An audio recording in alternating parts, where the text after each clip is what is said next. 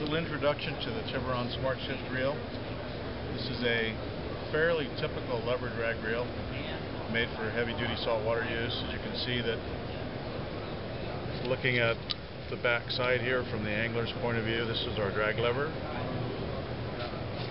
Our preset adjustment for the drag is on the left hand side of the reel.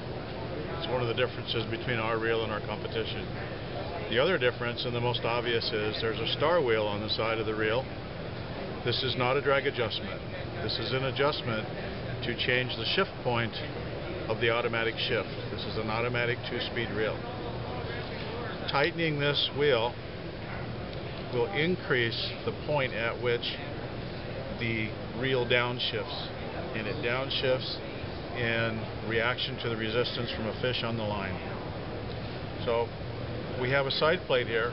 This is the just the side plate removed from the side of the reel to demonstrate how easily the reel shifts.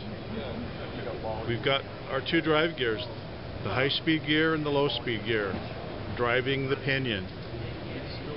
They're connected to the pinion all the time. We've got some timing marks here drawn on the low speed gear so that you can see the reel is biased to high gear. When there's no load on the reel, the high speed gear is driving the reel and it's also overdriving the low speed drive gear. You can see that the gear is turning faster. Look at the timing marks, it's going faster than the uh, drive shaft. So what happens when you get a fish on the line and it pulls really hard on the spool, I'm going to put pressure on the pinion gear here. Now the low speed gear takes over. The low speed gear is driving the reel. As soon as the pressure decreases, the reel instantly goes back into high gear. So the Smart Shift reel is always trying to go as fast as it possibly can to pick up line as quickly as it possibly can, which is the whole object in catching a fish on a rod and reel. Okay, so we adjust that shift point again with the star wheel. The tighter it is, the more resistance it takes from the fish to downshift the reel. The looser it is,